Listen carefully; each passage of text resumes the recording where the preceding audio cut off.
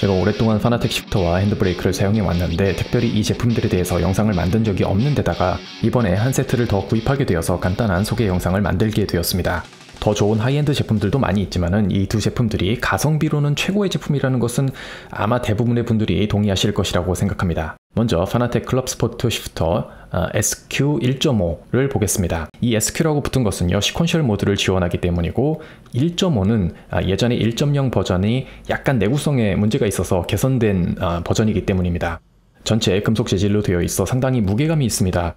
이 랜선처럼 생긴 RJ 케이블로 파나텍 베이스와 연결이 되고 타 브랜드의 베이스와 사용하기 위해 이 컴퓨터에 직접 연결하려면요 USB 어댑터를 별도 구매해야 합니다. 후진 기어 포함 전체 8단 기어를 가지고 있습니다. 후진 기어와 7단 기어는 눌러서 움직이는 형태라 좀 불편한 면이 있습니다. 후진은 뭐 거의 사용하지 않기 때문에 상관이 없는데 7단은 빨리 넣기 힘들기 때문에 아, 사실상 좀 약간 무용지물이라고 할 수도 있습니다. 그러니까 실제적으로 이 전진 기어는요 6단까지 있다고 생각하시는 게 좋습니다. 기어봉의 장력도 옆면에 있는 이 나사가 있는데요. 이거 육각 렌치를 이용해서 아, 조절을 할 수가 있습니다.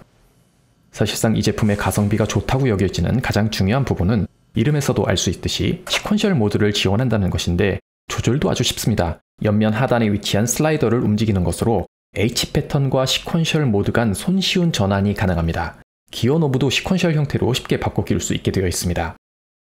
아, 또 한 가지 사용자 편의를 고려한 장점이 있는데 기본적으로 이 제품은 하단에 hard mount 할 수 있는 4개의 나사 구멍이 있습니다.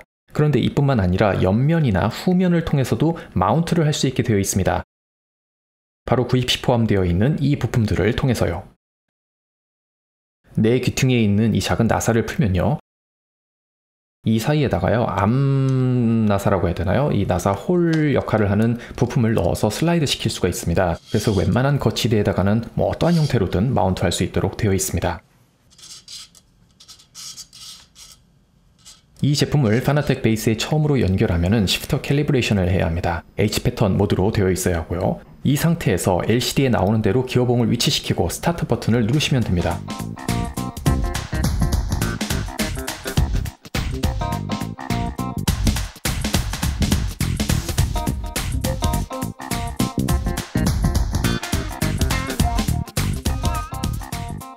뭐 계속 사용하시다가 혹시나 다시 calibration을 해야 할 일이 생긴다면 튜닝 메뉴 버튼과 스타트 버튼을 함께 누르면 다시 shifter calibration 모드로 진입합니다.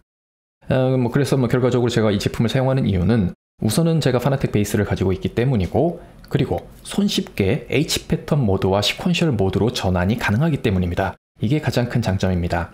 아, 뭐 사용 느낌이 뭐 진짜 자동차 기어봉 느낌이냐라고 물어보신다면 아, 그 정도는 아닙니다. 그런 비슷한 느낌을 가진 하이엔드 제품들이 있지만은 그런 제품들은 뭐 가격이 몇 배로 뛰기 때문에 아, 범용으로 사용하기에 이 Fanatec shifter가 가장 가성비가 좋다고 생각합니다. 그래서 또 제가 오랫동안 사용하고 있는 것이고요.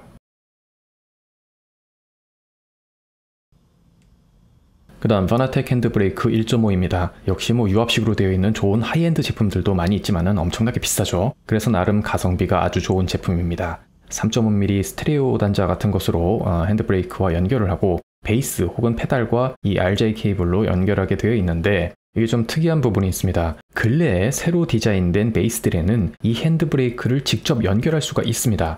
하지만 아, 좀 예전에 디자인된 CSW 같은 경우는 핸드브레이크 단자가 없기 때문에 아, 직접 연결할 수가 없습니다.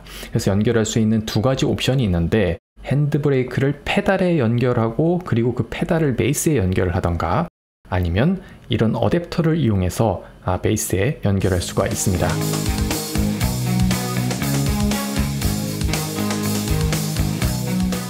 어, 기본적으로 하단에 마운트 할 수 있는 3개의 나사 구멍이 있고요. 옆면이 구멍이 있는데 여기에 이제 볼트와 너트를 이용해서도 아, 마운트 할 수 있습니다. 그런데 이렇게 하려면요. 뚜껑을 열어서 연결하는 게 더 편합니다. 에, 뚜껑을 열려면은 상단부 나사 두 개를 풀어야 하고요. 또 하나의 나사가 있는데 이게 스티커로 가려져 있습니다. 그냥 과감하게 떼어버리고 그래서 뚜껑을 열고서는 이제 볼트와 너트를 끼우면은 아, 작업하기가 쉽기 때문에 이러한 방식으로 옆면으로 마운트 할 수도 있습니다. 또 이 레버의 위치를 세로나 가로 형태로 바꿀 수가 있는데요. 이 두 개의 볼트와 너트를 풀어서 마음에 드는 방식으로 위치를 조절하시면 됩니다.